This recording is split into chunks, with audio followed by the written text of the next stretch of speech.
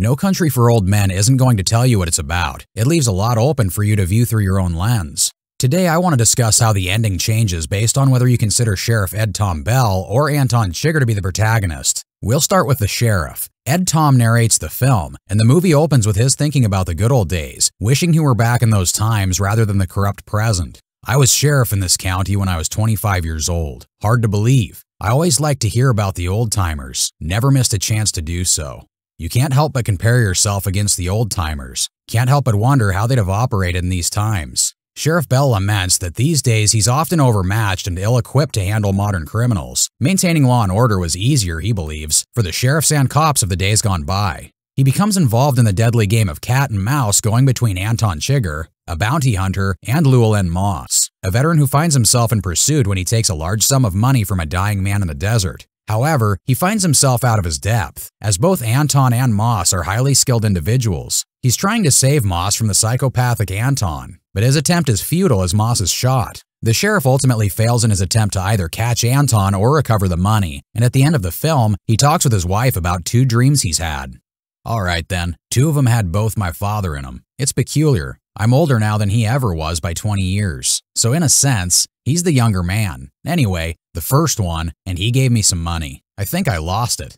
Here he seems to be describing the feeling that he's failing in his responsibilities. In the dream, he loses some money, and in his real life, he's giving up on his duty to maintain law and order by ending his pursuit of Anton. Second one. It was like we was both back in older times, and I was a horseback, going through the mountains of a night. It was cold, and he rode past me and kept going. Never said nothing going by, just rode on past. He had his blanket wrapped around him and his head down, when he rode past, I seen he was carrying fire in a horn, the way people used to do. And I, I could see the horn from the light inside of it. And in the dream, I knew that he was going on ahead. And I knew that whenever I got there, he'd be there. And then I woke up. Carrying fire in a horn here can be seen as a metaphor for Anton's crimes. Sheriff Bell believes that Anton would return to his crime scene, and so he returns there to try to capture the criminal bounty hunter.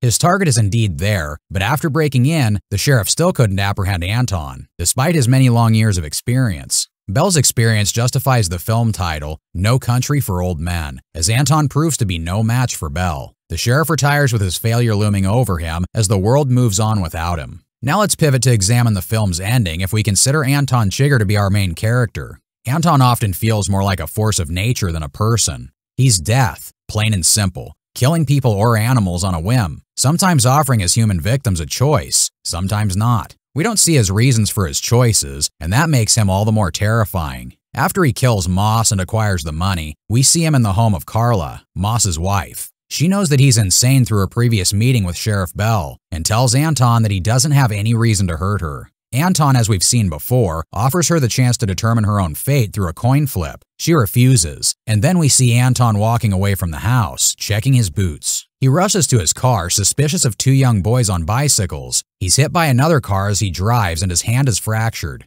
He bribes the cyclist to ensure their silence about the accident, and we know he can't seek help because of his crimes. Though he survived this car crash along with previous self-treated injuries, we can see the possibility that he may ultimately not make it. When we revisit the title of the film from this perspective, No Country for Old Men takes on an ironic tone, as the old man, Sheriff Bell, is in fact the only one to come out of this ordeal alive and healthy. The Coen brothers like to leave their films open to interpretation, and this one is no exception. It certainly deserved all the accolades it received, and will certainly be remembered through time as an excellent film.